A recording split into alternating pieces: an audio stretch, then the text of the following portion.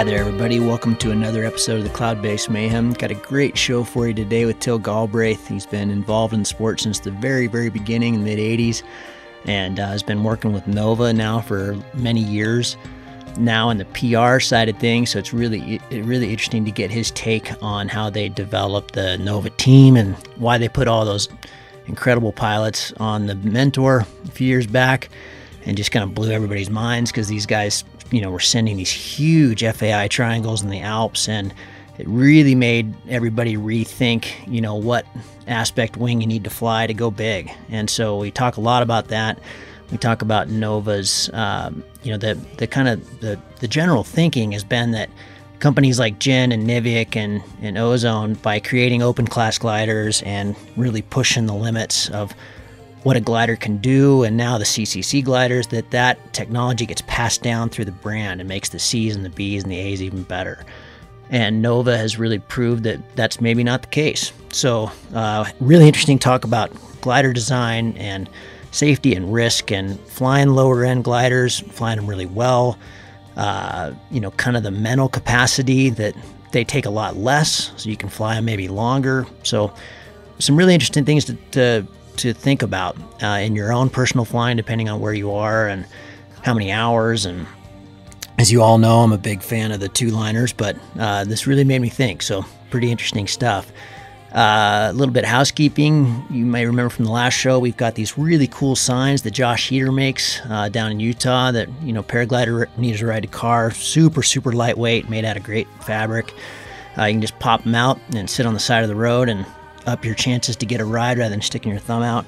Not such a big deal for those of you in Europe where you have uh, all kinds of infrastructure and transit and stuff, but over here in the wild, wild west, we often spend a lot of time hitchhiking. So, uh, really cool signs. You can circumnavigate, circumvent, I guess is the better word, uh, getting them by just going to his website. Those links to buy those, I think they're like 17 bucks are on the uh, in the show notes for this show and for the last one, Adele Hante. So you can go to those. But also, if you want to just if you can share the show on Instagram, Facebook, whatever, tag Cloudbase Mayhem, I will see it and I'll put you in a in a batch with the hats and uh, and I'll draw one out of there and send you a sign. So we've got a few of those to give away. So uh, cool way to support the show is just sharing it with your friends, letting other people know about it, trying to spread the knowledge. So, without uh, further delay, please enjoy this really cool conversation with Till Gottbrath. This took us months to put together, but it was well worth it. Enjoy.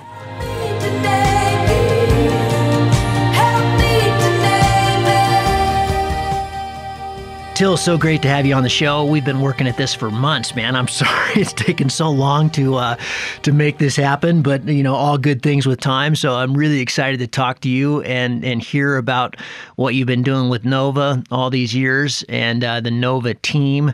But uh, before we started recording, there you you said you got into paragliding a little bit differently than most, just because of the, it didn't actually exist when you got into paragliding. Let's let's start off with that. Let's let's introduce yourself to the audience via your your history. Yeah, well, actually, it did exist, of course, because I was not the, the one who invented it. Um, but at that time, I was I was dreaming and fantasizing of, of a career of becoming a famous mountaineer and one one thing to achieve it was uh, I worked in a um, well mountaineering store in Munich, and um, when we, we, we saw in in the mags from the first photographs of paragliding, which was obviously coming from France, French are ahead in that case. Um, we looked at it and said, "Damn, that would be cool to do some kind of climbing and then just be up there." Have a fantastic launch site and then fly down, and you don't have to walk down that was so fascinating. So when we started, it was not actually that we were planning to fly. We just want to get rid of getting down, yeah, uh, walking sure. down, and just get down somehow. The other guy there I started with was um, Karl Slezak, who has become the safety guru at DHV. And um, so what we did is we, we went to our boss and said, hey, you know, Peter, there's paragliding stuff. That's so cool. And it will, it will be great. And, you know, we are a great shop, so we should, we should we should be ahead of the pack and do something on it. And he said, yes. And we also answered, uh, we asked him all kind of questions that he would have to answer with yes, eventually asking, so what about you buy two wings and we take care how it works? And he said, yes. So and it's true. he, he was he was actually he was it sounds negative, but he was reasonably easy to mani- manipulate. Ah, if you, perfect. It, if you that's put him in a yes saying mood, he would he would say yes, and that's exactly what we did. So eventually, it was in um, summer of '86, I think. There were two wings, and we had absolutely no clue of how how to to operate them. There was no no license in Germany yet, no paragliding school, no nothing. But there was already that that video from what was his name from Verbier, um, Supermax. Do you remember? Yeah, of course. The, the super, it's a Supermax video you find on, on on YouTube. So that was actually our instruction manual because I mean we were smart enough to start from the very beginning, just spreading it out, and somewhere where it was absolutely dead flat, that we would wouldn't be wouldn't, run. wouldn't start flying, just just run and and then where how how does they how do they inflate this thing? I think they they're pulling the front ones. And it was really watching the video and then taking wing and then go out on a, on a green field and, and see how it works. I love and that's, it. That's that's how we started. It was was years like like I think in eighty no eighty eight I think I went to a paragliding school in Austria because by then there was a license and obviously you had to have a license to compete and stuff like that. And then um, it was still the like like the, the boom times of paragliding, and and the instructor said, "Oh, I can see you've done it before, so maybe you can assist a little bit because." I'm actually a hang gliding teacher and I've done just 10 flights. And by that time we we had already done illegal like 50 flights or something like that. So um, it was it was wild. one of my one of my flying partners here, Nate Scales, said that when he uh, he had a guy come into the ski shop that he was working in and said, "Hey, does anybody want to learn how to paraglide?" and and Nate didn't know what he'd never heard of it or seen it. it went, yeah, I want to learn how to paraglide. And the guy took him out to a hill and and he, he lobbed him off the hill, and then Nate landed, and the guy said, "Okay, now you know everything I know." that was that was his instructor. You know, one flight. Okay, well, that's it. when was that? Oh, it was like 87. It's about the same time what you're talking about. 87, okay, 88, yeah. you know, just yeah. right the right in the beginning. I just you guys are such pioneers. I love. I love the stories from back then. Well, then, so so you uh, you know, so you get into it. You start learning how to fly these kind of three to one gliders. I'm sure, pretty much parachutes. Exactly. Yeah, yeah. I mean, today today uh, just the Rogallo Reserve has a better LD than the, the wings we were flying at that time. I love it. And I mean, the funny thing was like we were we were absolutely aware that it is a potentially dangerous thing, and um, so we, we really took it step by step. I mean, first flat, then then a gentle training slope, and then finally we walked up on on mountains that we were hoping would end in some kind of a launchable um, spot. Mm. But we had to find out that nice climbing mountains typically do not end with grassy slopes that uh, that are uh, directed towards the wind. Yeah, sure. Um, it, it, was it was a nightmare, and also like knowing that the the performance of the wings was so bad. We were, I mean, the most important instrument we had was that that LD meter. Yeah. So you, you could see. I know. And I was like, oh no, I think this mountain is not steep enough. Let's better walk down. so I think the first first three or four years was basically carrying up the stuff and then walking down again without climbing and without flying. so none of the advantages you were shooting for. You weren't getting the climbing and you weren't getting the descent tool. exactly, yeah. so that that's how it all started, but I'm still doing it. I still like it so much and I've never stopped. And I've never had an accident actually, not not even hurt myself. Touch really? Wood. Yeah, touch wood there. So so well give give us uh give us the CV side of your of your flying career. I mean, that's almost 40 years. It, I got that right? Yeah, well, 30. Yeah. 30 yeah. 35. 30 um, something, yeah. Yeah, so did you did you eventually get into comps or you know, what was the trajectory? Yeah, I mean what what happened is that particularly in the beginning is that the the performance of the wings was just I mean, the steps forward were, were just amazing. But but still, I mean, improving from one to three to one to five is almost doubling. But but still, it was only one to five. Yeah. Um, but I remember the the first German championships in 80, 87. Um, luckily, uh, funnily, there were two because DHV and the Aero Club both said, "It's it's my sports. We want to uh-huh. have paragliding." Huh. So there were two German, two official German championships, and at that time there was there were some people like like Toni Bender. I mean, he he he, he was he was always there and he was always flying and he had a, a long career as a as a hang gliding pilot. He knew what thermal flying is. I mean, we had no no idea of anything. Mm. I mean, we, we we just we would walk up somewhere where we would hope it's launchable and then find out wind from the wrong way and, and had no clue. And these guys, they, they, these guys, they knew how to thermal. And I remembered it was already in '87 that that at one of the training runs, somebody was flying half an hour. And I mean, all my flights had been less than five minutes, no matter how, how were, high we went. You were worse than speed flying. it was close to speed. It, it, was a mix of speed flying, but just slowly. right, right. Just plummeting I mean, out of the sky slowly. yeah, exactly. Yeah, like like close close to the ground, uh, following the contours, and but but I mean, having no idea of anything, and then I mean, it, I, I thought half an hour. It was just unbelievable, and then I mean, I saw somebody climbing up, and to me, it was like, what are they doing there? Um, but still, it took me, I don't know, I think I'm not very talented. Um, it took me years to actually be able to stay in the air. And at that time, it was, I mean, you were cool when you had, I mean, first of all, you had to have neon clothes. Um, look, looking at these old photographs, oh, my wife, awesome. my wife, when she when, when she saw these photographs, said, "If I had seen them before, I would have never married you." That's so embarrassing. it's like you know what it's like is like uh, looking at the pictures of my dad when he was a golfer back then. You know, like in the '70s and early '80s. You know, just the funniest bell-bottom pants, and I mean the stuff they wore is hysterical. But yeah, it's even worse with the paragliding. Yeah, I mean it had to be neon bright to be cool. Yeah. So um, there was the neon neon um, times, and then um, eventually, yeah. I mean, at that time you were cool if you had neon clothes. You were cool when you did many flights, and you were cool if you did long flights. I mean, mm. not long distance, but just staying in the air. Staying in the air. And I, re- yeah. I remember it was maybe in my fourth year or fifth year. Um, I was at, at Wallberg.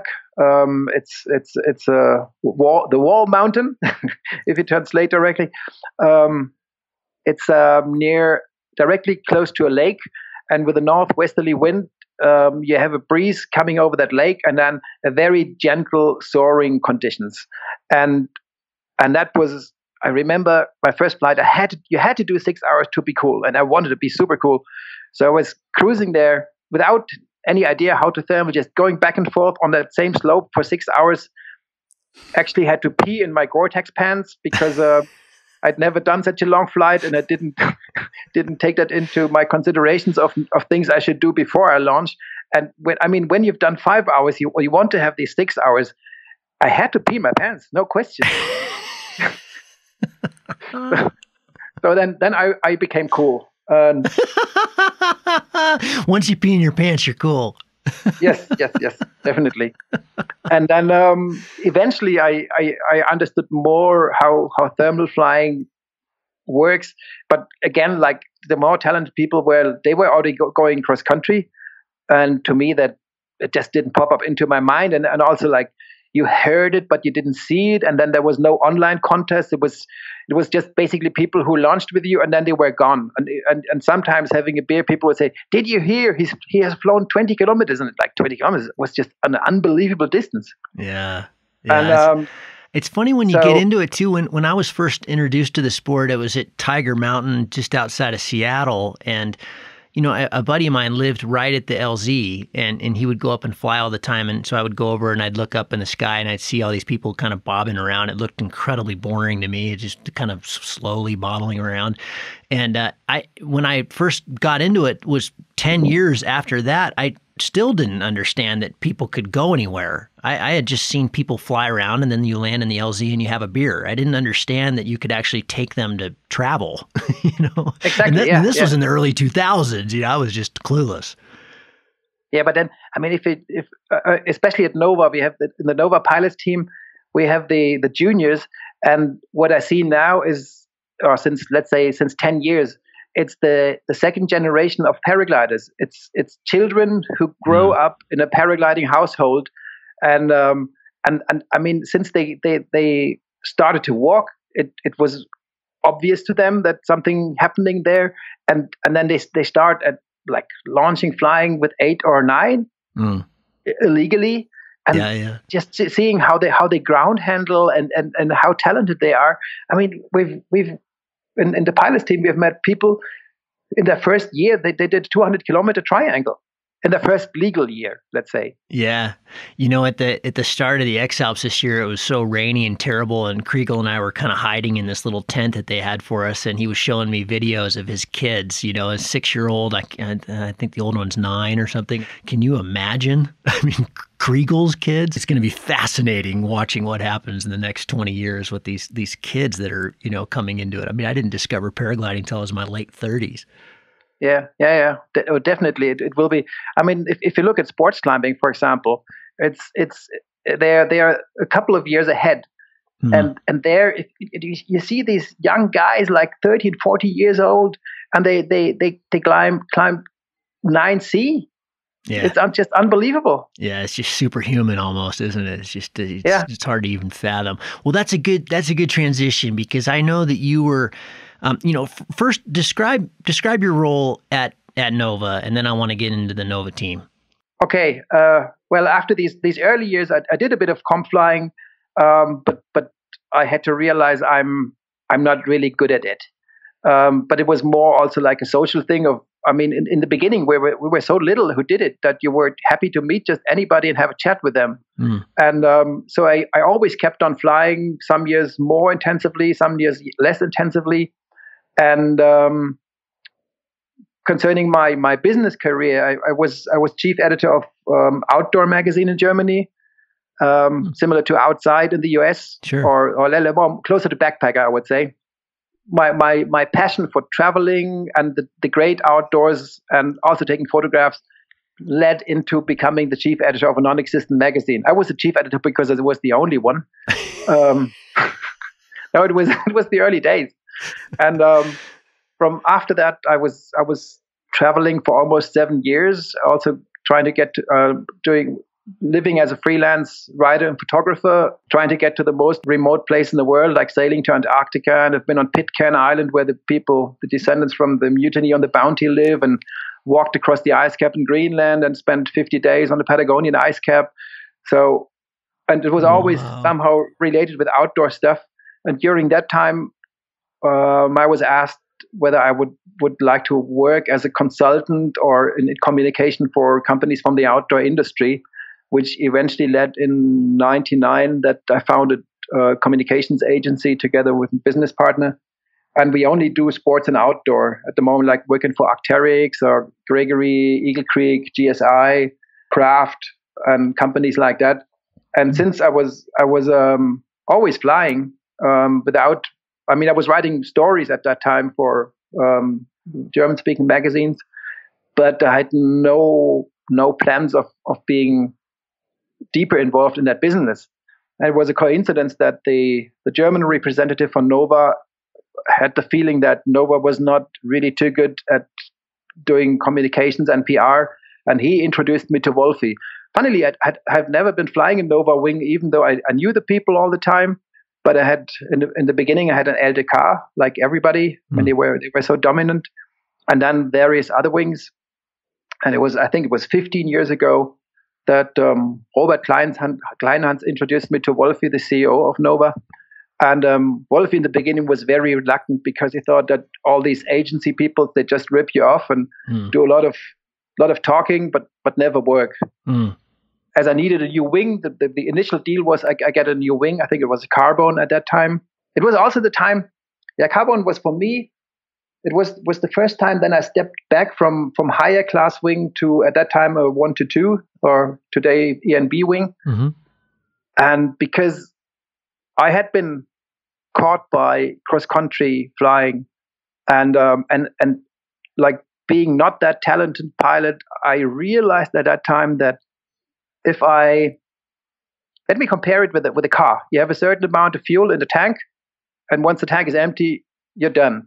And and like my ability to concentrate and to focus on on flying, I found out I, if I fly a higher class wing, I spend fuel on having my wing under control mm. and eventually make a wrong decision and then bomb out.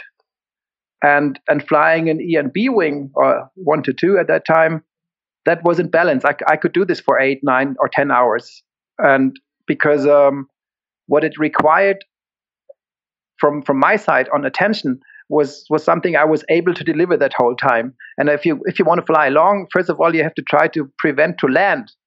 If you stay in the air for a long time, eventually you you will go rather far. And and that was for me like like um yeah like like a key to to fly much longer mm. than um, previously. And that was also the time when when Nova contacted me. So I asked them for a carbon and as an exchange for writing some text and stuff and when it came to a point when where I thought, well, now I've worked enough, now I should get money for it. Um, it was Wolfie who contacted me and said, "Hey, Till, I have to tell you something. I was pretty negative about agencies and guys like you, but um, I think it can work." And that's that's how it all started. And in the beginning, I was only I, am still working as a freelancer for Nova, running my uh, own PR agency or to, together with my business partner.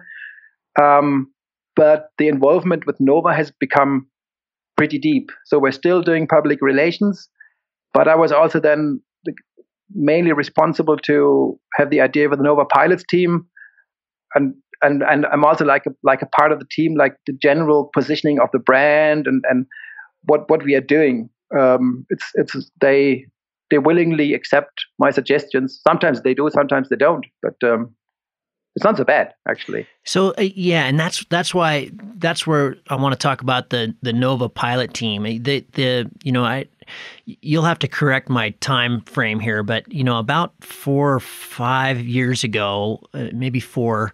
Um, yeah, I was in Speikboden with Bruce, and you know we were just flying. This was before we were kind of thinking too seriously about the X Alps and stuff. And there was this sudden just mentor, you know, Bernie Pesce and these guys that were just sending these massive triangles on the mentor, and uh, and it, it was just it, it it started blowing everybody away. It was it was really the talk of the paragliding community. Well, it still is in in a sense. You know, the, these guys are just the first to put up the 300 FAI and um, just these huge lines um, on a lower end wing, and uh, and it really just kind of reoriented how everybody thought about uh, exactly what you were just saying. You know, having more energy in the tank, and you know Nova's approach. I, can't say is, is totally unique. I mean, there are other there are other manufacturers out there that also don't mess with the CCC wings and you know the open class wings, but um, you know, they have carved out a position there that has been really fruitful for them. And I, and I think a lot of that, maybe I don't know if that started before uh, the the Nova team, but I'd, I'd love for you to talk about that and the vision and, and how that played out. It's all connected somehow. If if you look at Nova in in in, in the old days, I think there were years, and I, I, don't know which model it was because at that time I wasn't I was not interested in comps anymore, and, and I, and, I, and I don't know which were the top wings, but I know for sure that there was a year when Nova was was so dominating in the paragliding World Cup that all other manufacturers together collected less points than just Nova. Mm. Um, so I, I, think it was was it the Xyon? Well, I, I don't know. People might correct me for that, but but Nova was was extremely strong. But but what happened then is that the the comp flying became so yeah moved away so far from from from the average pilot that people were just not so interested in it anymore and at the same time this this cross country flying uh, happened and there were lot, lots of people who said well like like myself as a comp pilot i'm i'm i'm not not i i hate to go to places which are horrible flying. I mean, sometimes you have to, to fly through, through a lee, but um, with comps, you often have to go to places which are not so comfortable because that's just just the the task. And mm-hmm. and if if if I decide where I go, I can I can possibly fly around something, and so I like that cross country thing a lot. And and then it was also the time when when the Leonardo started, and and shortly after that, uh, online online contest org, and then Leonardo, and then then the X contest, and suddenly you didn't have to compare with the best of the world, but you could compare yourself with your buddies on on in your on your home site. You could compare within your country. You could compare with other people who flew a B wing, and and um, it was and then with GPS, it was it became simple. It was accessible, and then we thought, well, this this is probably the not the future, but but the future that may appeal for the for for the majority of the pilots. So it was a strategical decision to say we stop building CCC wings or competition wings, what, however they were called at that time. Um, I mean, I, I, asked in my local club, do you know who's the German champion, who's the world champion? And they never knew. And actually, at the last Nova Pilots team meeting, um, we were in Slovenia, and there were like 75, 80 people. I asked the same question again, and honestly, nobody knew. it's, yeah, it's a very I mean, we, it's we, a, it's a, it's a very isolated end of the sport, isn't it? Yeah, I'm I'm I'm not negative about it. Yeah. Um, it's it's it's just a matter of fact that as the majority of the people just don't care at all, and and and we we also became aware of like like myself without being a top pilot, but becoming aware that that I can fly a longer distance with a lower class wing, that this is probably the case for for several people. And then we said, okay, so let's have a a pilots team which is completely different from from the typical competition team. I, I mean, the competition team is basically at that time it was you buy the best pilots and then try to win. And, and you give them money, and, and Nova was really spending money on, on, on, on comps in the old days. But then we said, a lot of the paragliding stuff is is not so much about winning and and being being the hero and being better than others, but it's a lot of it is also. I mean, everybody's flying by himself, but a major part for I think is meeting the other guys and having a beer after you've flown. It's I think it's a highly social thing. Also, when you're traveling with a paraglider, I've been just to been to Sicily for a week with some friends, and we got in touch with some local people with Dario and and um, and Marco Busetta. And I mean, you go there and you change immediately from being a tourist into one of us, hmm. and you're accepted. And that's that's the great thing about paragliding. So we decided we want to do something which focuses more on first of all cross country flying, and second also like having a, a social component. Like if you want to become a Nova team pilot, you can be the best pilot in the world, but if you're an asshole, um, we wouldn't take you. Hmm. So we, we try to also have people who are simply nice chaps. Hmm. Um, and, and, and, and also who are happy to share the experience, not, not like having a, a mirror, mirrored sunglasses and be unbelievably cool. But, but if you ask them a question, they tell you, come on, go away and leave me, leave me alone. That's exactly what we don't want to have. We want to have like, like friendly people who willingly share the experience and then at the same time the performance of the of the lower class wings became so good. And and that it, it happened all together. But it was definitely also let's say in in looking at from from a more from a wider perspective like like 15 years ago if you were not flying a high aspect ratio wing you couldn't be cool. If you want to be cool you had to have a hot thing. And and and flying flying like a, one of one of one of these zeppelins, like like a, like an Ion today, which is performing fantastic. But it, at that time, it was just not cool. If you were flying a Mamboo or Mentor, you were not cool in the early mm. days. Mm. But today, if, if I land to close to somebody with a with an Enzo Zeno, something like this, they fully accept me um, because they know I might have fl- covered a longer distance than they they did. Mm. And and that's um, in a sense, you guys made you know flying the lower class wings cool again you're not cool again. We want to make it cool. No, but you, but yeah, you made it cool. Not cool again, yeah. but you you made it yeah. cool. It was suddenly, you know, I, I, think I think a lot of people went, wait a minute, why am I flying this high aspect, hard to handle glider if I can just fly a Mentor and go 300? yeah, exactly. And it, it was definitely also um, a strategic decision to do this because we were. Um, I mean, if if I look at at the, the Germany, DHV, I think they they they issue every year like 2,000 new licenses. So we have 2,000 people coming into our sport, but the number of wings sold basically stays flat. Yep. So that means the same number of people who get into it also get out of it. Yep.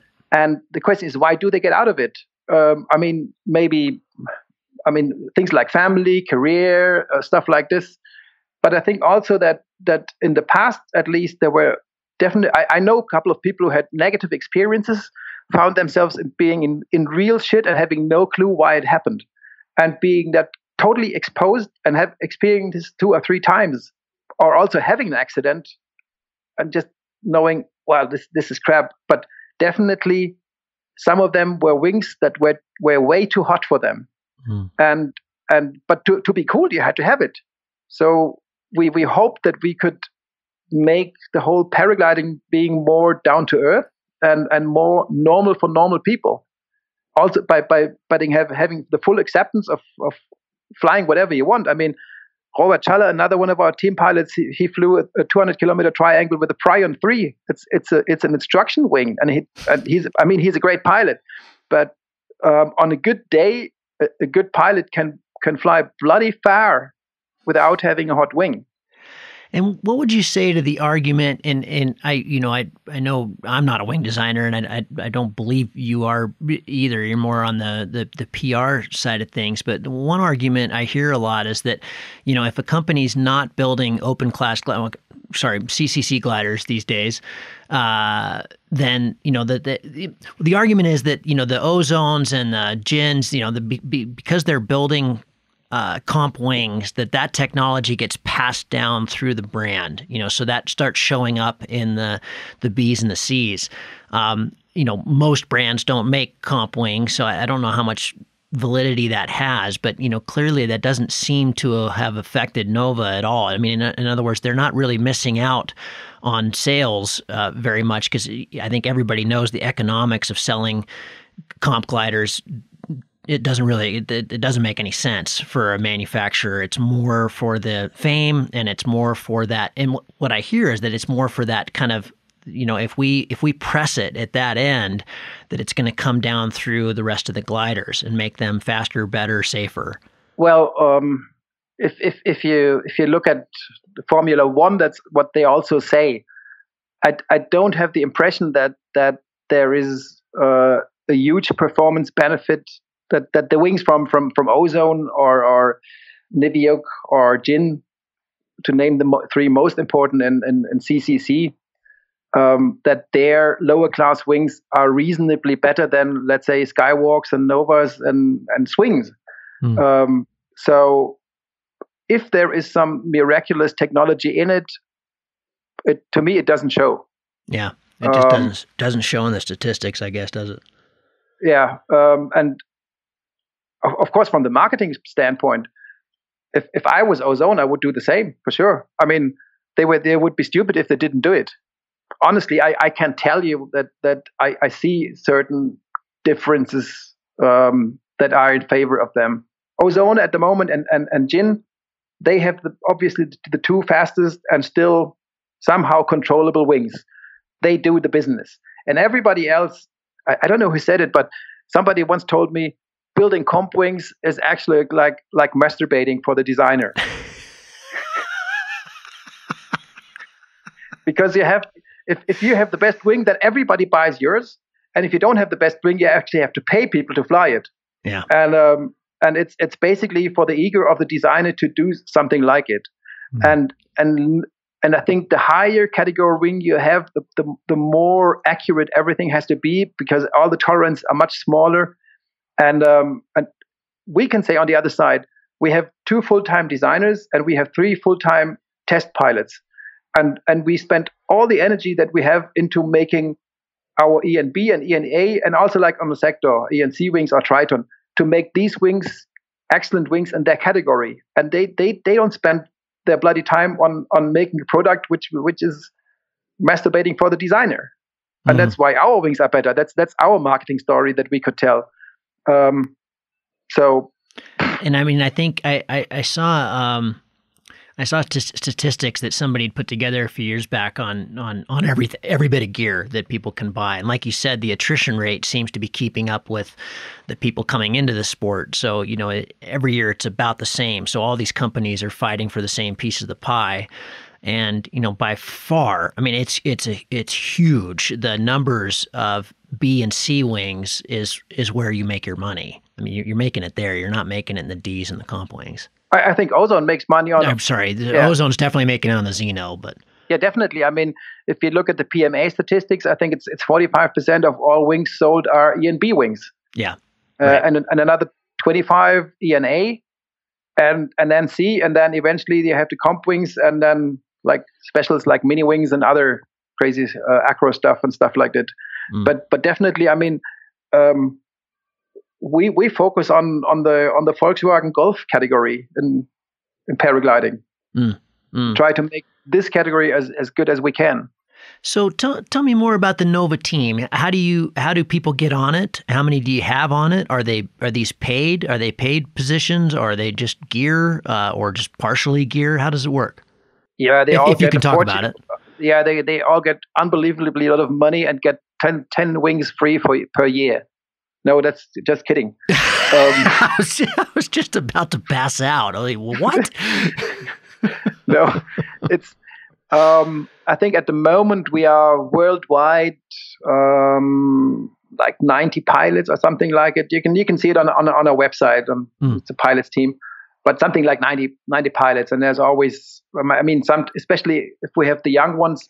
Um, some of them are suddenly more attracted to to acro. Others start to fly fly comp. I mean, uh, some of these really really well known pilots started with us, like like um, Paul Guschlbauer used to be a Nova team pilot. Aaron Durogati was a Nova team pilot when he was young. Then uh, some of the, the young English chaps have been with us. Um, Simon Oberrauner, he was with us. So we, we've we've had some young guys who proceeded very quickly and then said, okay, we, we, we want to fly in a, in a category that you don't make. Mm. And and if they fully focus on this and, and actually decide to, to make a try to make a living out of it, then it's it's okay. But the good thing is we're we're, we're still in touch with them and we're still friends with them. Hmm. And um, because I, I, think a lot of, I mean, you shouldn't be too narrow-minded. Sometimes people are, but but we try to be rather open and just be, as I said, try to be nice chaps. Mm-hmm. So if people apply for for team pilot, it's, I mean, in the in the beginning we didn't know how it would work. So what we did in, in the early days, we it was only limited to German-speaking countries and I was approaching people that I knew from the online contests who were already flying mentors or Mamboos successfully and and pretty long distances. And then I asked them, "Oh, we have an idea, and this this is our vision. What do you think of this?" Yeah, yeah, exactly. This is what I'm already doing. Cool, yeah, and I like Nova, and and I think everybody that I asked willingly joined the team because it it was like they had the same idea that we had. So it started with the 15, 20 pilots in the first year. I think it's now since it's 12 years old, the pilots team. Uh, but it started in, in, in, a, in a, on, on a very small scale and, and, and it was just growing organically. And it was not the case that, that, that the management at Nova decided, oh, yeah, let's spend a fortune on this. It was rather giving it a try and see how it would work. And um, yeah, and then we realized it works, and then we we made the international team, opened it up, and then um, added the juniors, who unfortunately don't stay juniors forever. so now that's i mean this this is like a, constant change there definitely. And, and let's, let's um, talk about that real real briefly till. The the junior juniors team is i think just so smart and and something we need really worldwide because we just don't have enough young people getting into the sport right? I mean to to to sustain paragliding we need more young people getting into it. And uh, so tell me about the juniors team yeah, I mean, it was basically the the, the same idea. If, if if if you apply as a as a team pilot, um, first you mostly it starts with an email, and then I ask them, so why do you apply? Um, why do you apply at Nova in, in particular? And it's often that people just think, oh, I would like to be a team pilot, and then you realize, like a job application, that they don't really look at what your team or what your brand stands for. They just I mean, I've also re- received uh, applications where they forgot to to change the names at hey at at, at skywalk i want to become a team pilot which which is not the best best start for uh, positive answer.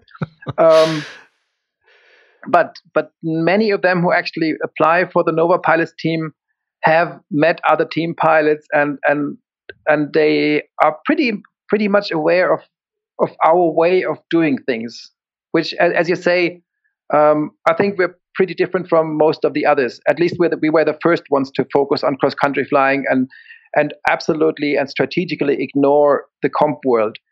And um, so the first first contact is with an email and then then i, I, I check how yeah, it's it's a lot of guts feeling, um, and then we send them the team vision, which which explains pretty detailed of of what we have in mind. It also explains that being a team pilot is not only taking; that it also means giving. Um, that we expect them to to have rather good communication skills and and and willingly write occasionally something for the team blog, um, give feedback on the wings. Yeah, and, and you asked about uh, do they get money or something? No, we have we have a system. Um, we have A and B pilots. Everybody pay, pays for his wing, and everybody owns his own wing.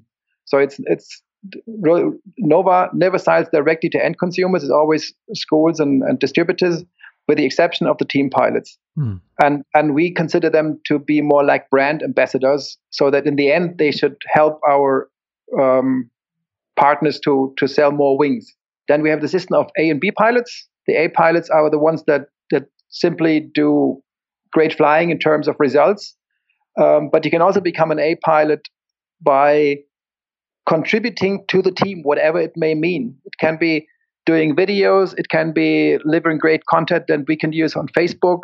Uh, it can also be that you are the one who organized the next team meeting. It's mostly that that we, we try to go to different locations. It's always the first weekend in October because then the XC flying season is over and, and people people are down to earth again and, and not not I I remember when Christian Pichler he stopped flying unfortunately meanwhile um, he was leading in, in the sports sports class on XContest and I was talking to him some some time in early September like Christian how's life ah I'm stressed. I'm so completely stressed. You know, Christian, he he runs, uh, he owns a company. He's he's a whole wholesaler for for wood and and wooden stuff like um like floor and and mm. and, and it's a big company. I think he employs more than hundred people. So running a company with hundred people and being an, an, ambitious paraglider often doesn't go together too well. And you know, now I'm leading. Now I want to win. But you know, then I see weather forecast good. so somebody might might might long De- flight and then defending I, his defending yeah. his position. I mean, That's the downside lead, of XContest yeah, for sure. Yeah. When once you lead, you really want to win, and I'm looking so much forward to end of September. Then everything is over. Oh, and he was completely stressed. So, um, I mean, so coming coming back, how to become a team pilot? You could you can do you can achieve great results, but you can also do videos, do some writing, sell articles, place photographs in magazines, uh, having your own website, doing videos, uh, or just be like a, a, super nice guy, kind of a respected, not not even local hero, but somebody who who enjoys a, positive reputation as a as a good pilot, but also as a reasonable pilot. Mm. We don't want any daredevils. Actually, mm. I'm I'm actively encouraging all our team pilots if they go XC and and they feel it's turbulent and they decide to land, I encourage them to land and say, I found it was too bumpy, I was scared, I landed. Because I, be we, we, we think they, yeah, just be honest. And. I mean, what's the use of being a hero, but who's who's doing things that are kind of crazy? Mm. It and, only takes um, once. Yeah, and and and and I, I, I think it's also that we have a, like a clear rule. It's always more important if if you see somebody who, who throws his reserve. I expect our team pilots to be the first ones to land and to go there and and, and help. Mm. And forget about the 200 or 300 kilometer triangle. Um, help the others because that's what I would hope that somebody else does. So we we we we, we put a lot of emphasis on per positive personality in the largest sense. Hmm. Yeah, that's and that's um, great. And then when when I have the feeling that they might fit, they get a pretty long application form that they have to fill in, where they actually have to reflect about their their own flying and about what we expect and whether they fit with Nova. And we've had it in the past that, that people said, you know what, I thought about it. Luckily, I'm in a position that I don't need to I'm not look actively looking for a cheaper wing. I think I rather prefer to buy the wing that I think is the, the, the nicest for me in that se- season, and I don't want to sell myself to any other brand. And like like in, I mean, we, we don't have contracts. Everything is based on on trust, and and it's it's it's easy going. I highly respect people who say, "Well, I don't want a cheaper wing. I prefer to buy whatever I think is, is the nicest," and and that's quite cool, actually. Yeah, for sure. Is it is it possible these days? You know, I think you know the, the kind of like kite surfing, the days of of you know huge contracts and money and winning, you know, and winnings. That's obviously all gone. Um, but is there, you know, you mentioned Aaron and Paul who have carved out, you know, pretty nice living through sponsorship through Red Bull and that kind of thing. But you know, is it is it possible as a as a pilot to you know create a life from flying with Nova, or is it mo- you know the team pilots are it's it's uh you know you, you get some you get some gear and you've still got to figure out a way to live. None of our our team pilots is is um making anything which might be even close to make a living at. No yeah. no. Everybody has a has a, a normal job or is, is, still studying or something like it. Mm. but um and i think in in general it's if if somebody asks me I, I want to make a living in the world of paragliding well as a as a let's say freelance pilot, it's really difficult. Yeah. And um, and but that's that's that's the same also in, in mountaineering and, and expedition stuff generally. Um, but there, at least, the, the whole industry is bigger, and there's there's, there's simply more money. Um, I mean, the paragliding industry it's it's, it's worldwide co- compared to other industries. It's ridiculous. I mean, we're we're a little freak show. Yeah. Yeah, yeah. And and comp- I mean, just looking at, at let's say North Face, I don't know what their turnover is. I think it's like something like like two billion dollars or two and a half billion dollars. Um, I don't know how big the paragliding industry is overall, but it's definitely not that big. Yeah. Oh, so so be, yeah, I think Chrigel is probably the only one who who, who can live reasonably from being a hero. And then already for Aaron and, and Paul, uh, I think they're not getting rich. No, they get and also looking at my, at my other work as a as a communication agent for for for companies from the outdoor industry, these guys might start making a living when they have become so well known that the people from outside the paragliding industry get interested in them. Yeah, exactly. So, I think within paragliding, it's it's nearly impossible. Exactly, yeah. and and and and a lot of like Theo de Blic, he he does these great videos, and if if you get interested interesting to let, let's say the automotive industry that they they look for somebody who can do some crazy stuff or is partnering with you then money is involved. But but working uh, living trying to make a living within the paragliding industry as a as a sponsored athlete it's yeah. you have to, i mean you have to be extremely good but as a pilot but at the same time be extremely good in marketing yourself. Yeah, like a Jean Baptiste Chandelier, I think. Maybe, exactly. Yeah, yeah. Jean Baptiste is a, a, very good example. Yeah. Um, and also, if you look at his his his uh, number of followers on on on Facebook or on on YouTube, I mean, he simply does great stuff. But the, these big numbers come from people who do not fly themselves. Yeah. These are people who who who watch uh, Red Bull TV and get appealed by all kind of adrenaline, almost self-suicidal stuff yeah, I mean, I, I, see Red Bull with with um, I mean, the X Alps is fantastic, but honestly, if if if I see at what conditions you guys fly there, uh, it's it's to me it's sometimes insane. I mean, I, yeah, I'm, I'm doing it's because I like edge. flying. Yeah. It's it's definitely on the edge, and and I think it's I I highly admire Michael Gebert when he said the last time, okay, we've come to a point where I don't want to do it anymore, and and I withdraw and that that takes a lot of courage also to say this. Yeah, that was a that was the day that Tom crashed, and uh, he and I were in the exact same spot. Michael was just behind us, and I mean, it was just madness, and, and it it had been madness. You know, Michael Witschi through through his reserve the day before. I mean, we were just fighting so much wind, and it's you know that's yeah. the kind of stuff that's really hard to see from the live tracking. You know, we are just just constantly, you know, all day, uh, just battling these horrific conditions. And it was, uh, yeah, that, no, I, I had, he and I had to talk about that this year down in Brazil. I really admired him for that as well. And, and so becoming a professional pilot, um, I think you have better chances to work as a test pilot hmm. um, because that's what what the manufacturers need. And and looking at, for example, Mario Eder, who has been Nova for long, has been away, then came back, and Mario, I think, is very good at at um, also finding the right trim for a wing and that's that's a very special skill. Uh, it's also looking at Formula One. You know, there, there's drivers who never win a race, but as a test driver, they they are unbelievably important. And to the manufacturers, you need these guys.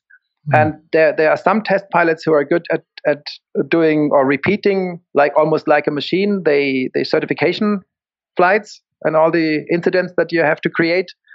And but then there are guys like Mario who are very good at at actually making the wing suitable for what it is designed for.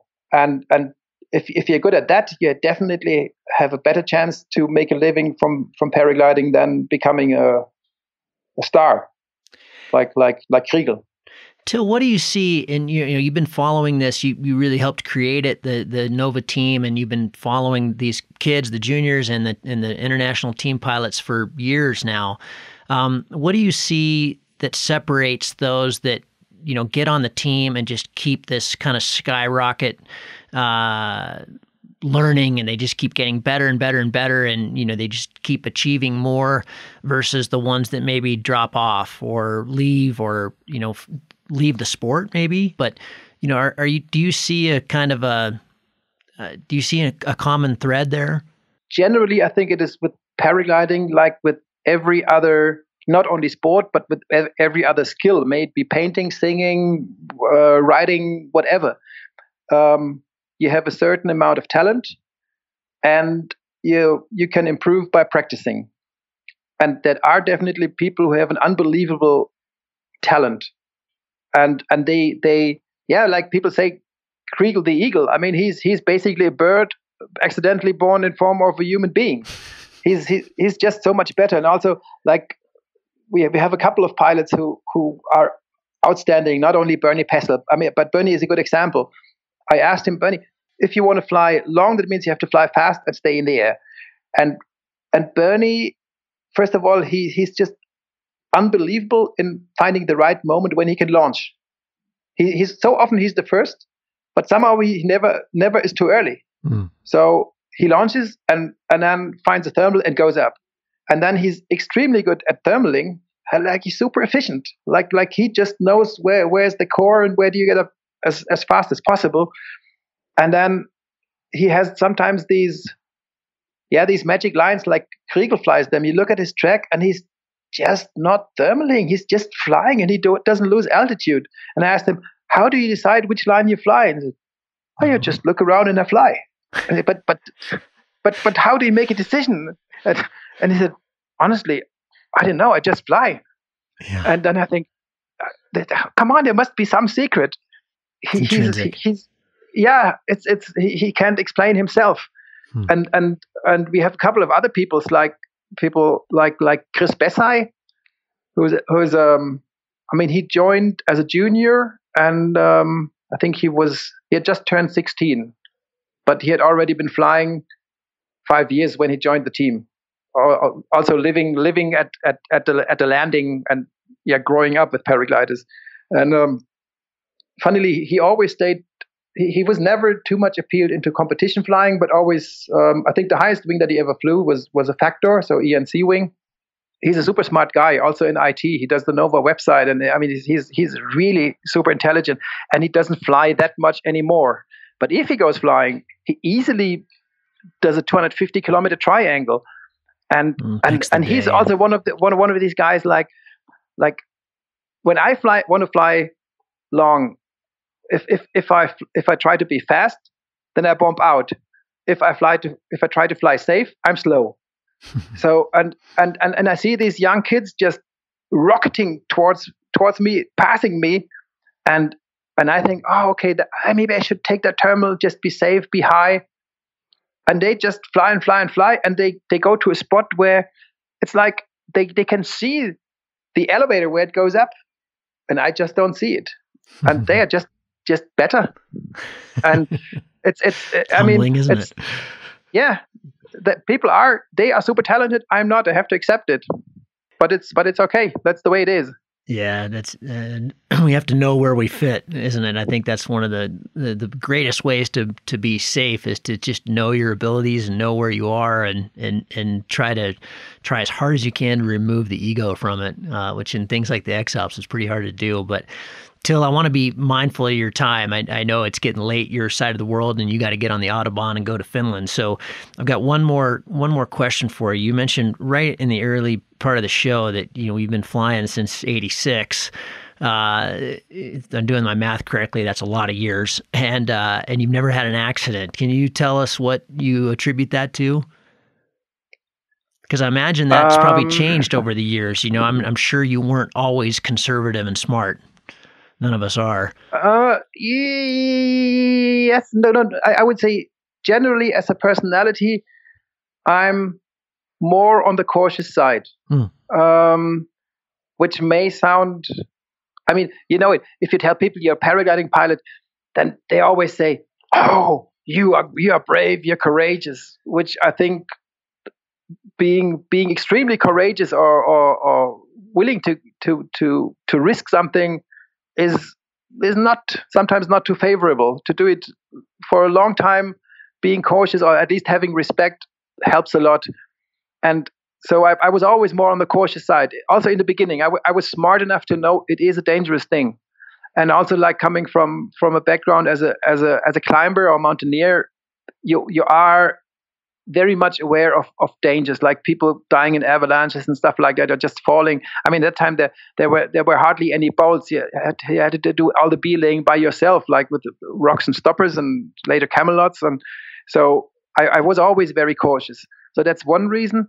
The second reason I think is, at least in Germany, I have the impression that there are several schools who do not have the the target to turn a paragliding beginner into a self-relying pilot. Because i mean as a teacher you're a good teacher if you make yourself redundant. Mm. then you're the best teacher because then then you've passed on your knowledge your experience. But in terms of paragliding there are schools who who think if if i if i do my job too well i will i will lose a customer. And and they don't really teach pe- people to become self-responsible. And I, I know quite a few people who, who, who passed their license and then suddenly now now I'm a pilot and nobody else is telling me what to do. Like during your instruction, your, your teacher is a god. I mean, he tells you conditions are good, go, and you trust. I mean, you basically mm-hmm. you, you give him your life, mm-hmm. and then suddenly you're standing at, at the takeoff, and there's nobody who tells you, hmm, it's good or it's not so good. And you stand there and, and, and, and you're wondering, is it good? Is it not good? And, and I think a lot of, lot of schools don't do this.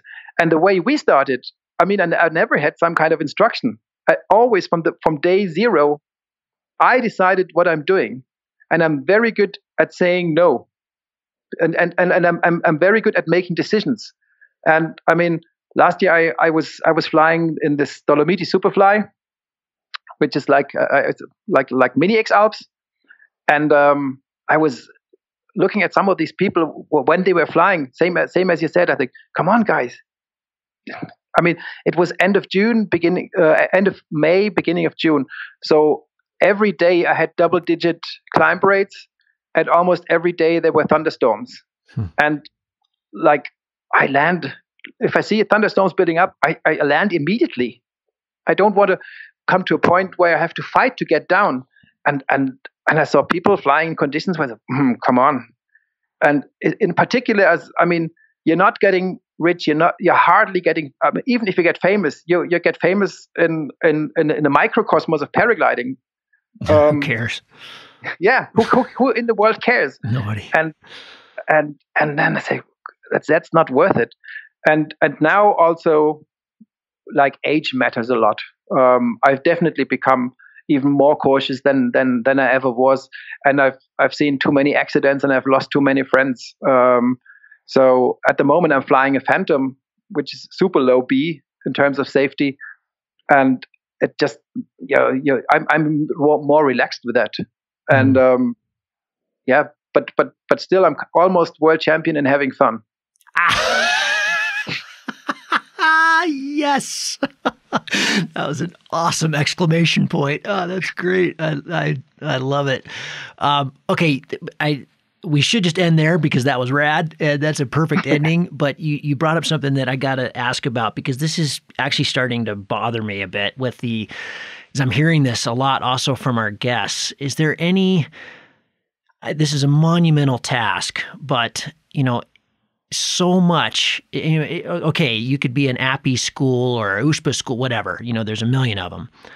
Yeah, but yeah. it's so dependent on that person, you know, who you go to. Are, are you a kinetic? Eh, it, it, it's totally dependent on how you learn as a person, but also who you go to for the school. And like you just said, you know, you've you've got this person that's a god. You've got them on the radio, and they're telling you what to do, and then it's done. You get your certification, Exactly. and it's done, and you have no idea what you don't know. And some of us get lucky and make it through that period and some don't. And and uh, i mean i'm finding it's it's really frustrating depending on where you go. And when you're when you're just learning you have no idea where to go. Um, you know you might go because you see it outside your window. And you know if you're in europe you see people flying all the time. But here you you really te- tend to have to travel a long ways. And you go to somewhere and there's a and you you know there's a school and you take the you take the course and then you're cut free but that Yep. course is so dependent on you know what kind of weather you got that week uh, you know what the mood was with the instructor. You know it just goes on and on and on. Is there any way or is there any push for that to change to kind of standardize this? Because you know if you go to one site you might become a really good ground handler which i think is just paramount in in staying safe. And you go to another site and they're lobbing you off a hill you're never going to get to ground handle you know it's just it doesn't work there and so unless Yeah, that yeah. unless that instructor really impresses on you that ground handling is important you're not going to do it Yep, I agree. Now I have have no idea of of what to do and how to achieve it. Um, I, I think the the only way is actually like when the authorities, let's say DHV or in, uh, in our in Germany, when they have these courses where where they where instructors become instructors, um, that they have to be definitely much more looking into their let's say psychological skills Hmm. in terms not focus much more on this. I mean it's it's it's very hard. How can you say you you are not suitable to become an instructor? It's it's i, I mean there's nothing you can measure you, you can see how somebody's Yeah. flying whether he can he can master his, his wings in all kinds of conditions whether he, he he he's landing on the spot and stuff like this but um it's it's um it's it's a very delicate topic but then Mm. again if i look at at the how to become a mountain guide I was just I thinking think- the same thing. I mean, if you, you know, my friends that are IFMGA guides, they are, there isn't one of them that's kind of weak. They're all amazing. I mean, they they have Exactly. they have gone through thirty thousand dollars worth of instruction. It's taken them years and years and years. They're super dedicated. I mean, if you go on an avalanche safety course, you know it's going to be good.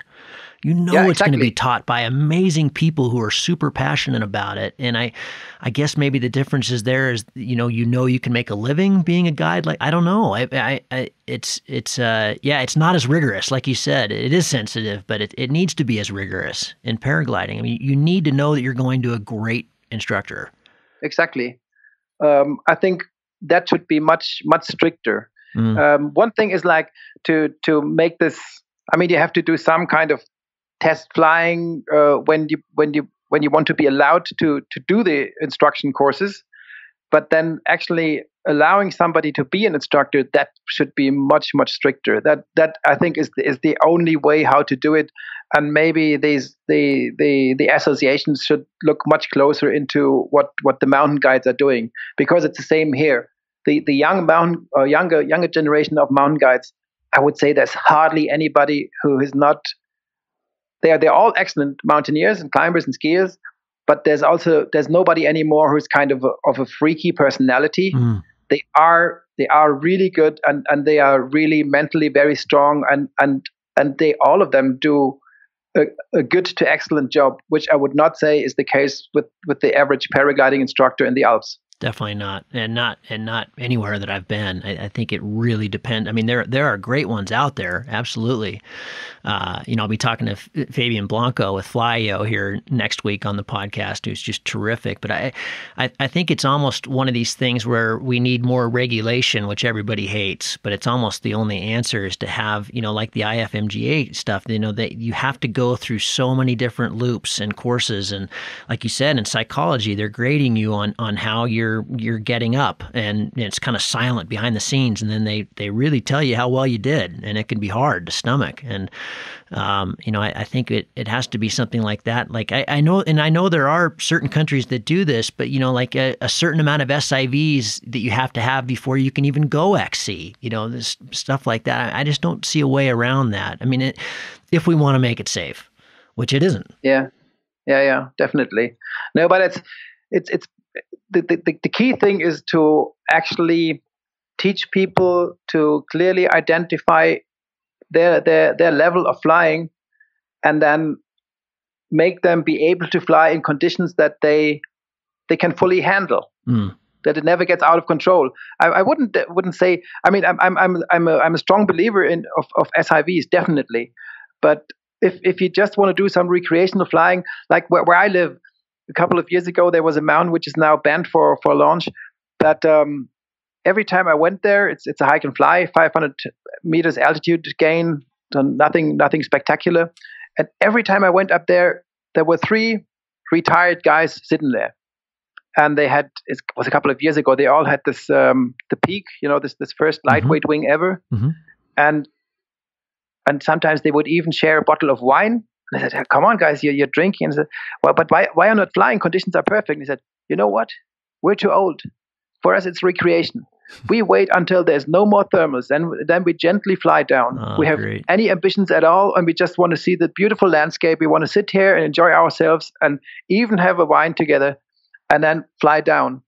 Um, I love it. I mean, of course, if there's an incident, maybe there, there, luckily there, there never obviously was one, but um, I would I wouldn't say that you have to force people into SIVs. You're right. You're um, right. Yeah, that probably is extreme. But some, you know, some some kind of like a checkbox system, you know, that you yeah, yeah. that you have to kind of work through to in order to do certain things where you're not just so reliant on you know, maybe hopefully you're at a launch like Annecy and there's plenty of other pilots around who can help you out when you're when you're learning. But, you know, a lot of the places we fly here at home, it's you you know and you're just when you're when you're learning it can be pretty scary yeah yeah and and and one other thing that might help is also like uh, especially in the alps there's there's lots of clubs and i mm. think on on club level that might might be how would you say like a good uh, pool where people can help each other after they have finished their their their instruction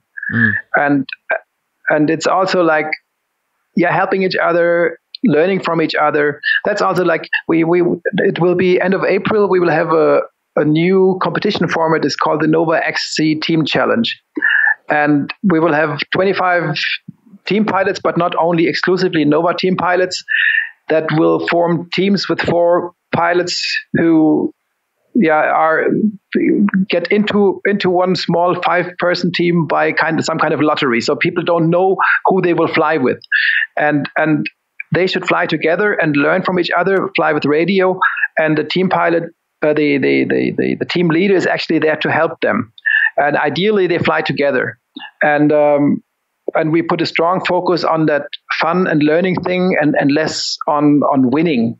Mm. And that's going to be pretty interesting. And and it's and it's XC flying, so it's not typical com flying. The the team decides where they go and, and what they plan, and then they try to fly together. And and it's it's going to be really interesting how it works because Hermann Klein, who is like the race director, he did this on a on a club level and said it was a big success. Mm. And we were wondering, hmm, will people like it? It's it's different from everything else, and does that flying in five people gaggles together will it work we're having different level of skills and but the good thing is um, it's already booked out and if you want to apply now you're on the waiting list and and considering that it's the first time that we do it and nobody knows how it works at least it sounds appealing hmm. That's great. So That's an awesome idea. I love it. And, I, it, there seems to actually be kind of a shift towards that. You know, one of the guests I had on recently, Marco, um, just ran a race kind of like that down in Valle. So instead of like a race to goal, it was just we start here and we try to get back here. So it was it was encouraging triangles, but it was basically it, the, the the scoring system was a combination of XContests and speed and aspect ratio, so not even E and yep. B or C or D, but aspect ratio, uh, in terms of uh, how how they figured out the uh, what I was trying to say, not not the points, but the handicap, and and then you were encouraged to just you basically won if you chose the right thing to do that day and went really big, yeah. and it was it you know so it was encouraging people to not go into dicey places, not have to fly in the Lee all the time like you do on a task. And uh, and you know, from all reports, I wasn't in it, but all reports, it was just a blast. And it, you know, and, and it's really, it was geared to really find out who's the best XC pilot. You know, in that kind of yeah. format, Chrigel would definitely win. but but uh, he but, would always win. yeah, he always won everything. But you know, it was it, it, it I, and I think there's a real push that way. But it was also real supportive and a great learning environment. And I I, I think that's that's a yeah a great way forward. Well, congratulations on on doing. That. I think that's a great idea. Yeah, we we, we have the same handicap. Like like uh, we have three. Uh, it's maximum is E and C, so no D and no CC wings, and we also have a handicap on on the um, aspect ratio. So we have four aspect ratio categories. Hmm. Um, so we we picked up some of the ideas, but then again, we we try to encourage a lot this this um, this this the, the, the team idea like people flying together, having it planning together. Yeah, mm, that's great. Creating creating new teams. It's going to be interesting to see how it works. I, I, I, I mean, I hope we're lucky with the weather, and but but so far, I'm I'm pretty positive. But we can we we we we, we will see um, beginning of May. So it's it's going to be 27th of April to 1st of May in Greifenburg. So Oh, perfect spot to do it. Yeah, that's a great site. Well, I'll, I'll, check back in with you on that. Till, thank you so much. I'm going to let you get on the road. I really appreciate this. Uh, lots of great info there. And uh, best of luck to you. And uh, can't wait to spin around in the sky doing the absurd thing that we do one of these days. Yes. Thanks a lot. Thanks for the for the interview. And I think actually we've we've met on on the X Alps uh, three years ago because you were passing our house and I was standing in road and giving you some some apple juice. Ah, no way. That's right. Of course. Uh, of near, course. Near, oh, near, that was so good. That was so good. I just downed from, it. Kampenwand, uh, yeah, of course. Yeah, yeah. I didn't. So. I did not put that together. That's I. I now for sure. I remember that very, very vividly. Yeah, that was. Oh, that was good, man. thank you for that. Yeah, it's a small world and it's a nice world. It is a nice world. Till, thank you very much. Thanks, Kevin, and um, hopefully see you soon. See you soon. I hope you enjoyed that. Really cool to sit down with these folks that have been in the sport since the very beginning and get their take. Hope you learned a lot from it. And if you are getting something from the show, uh, please support us. You're, you can support us in a number of different ways. It doesn't have to be financial, although all we've ever asked for is a buck a show, so you can kind of treat it like a magazine subscription. You can support us through cloudbasemayhem.com. You can see the uh, links there to support us on a one off donation through PayPal or as a kind of a set it and forget it and be rewarded for doing so through patreon.com forward slash cloudbase mayhem. But you can also just share the show, talk about it with your friends on the way up to launch, uh, tell the school, share it with your club.